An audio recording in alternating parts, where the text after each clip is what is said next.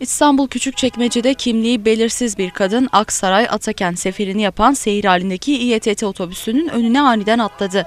Sürücüsü ise önce korna çalarak kadını uyarmaya çalıştı. Ancak alkollü olduğu ileri sürülen kadın otobüsün ön tarafına yapışarak durmaya devam etti.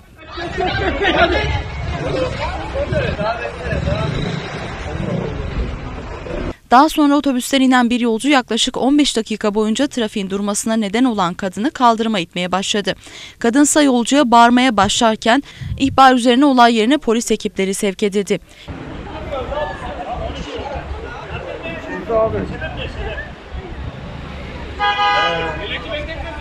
Gelen polis ekipleri kadına gözaltına alarak karakola götürdü. Duran trafik ise yaklaşık 15 dakika sonra açıldı.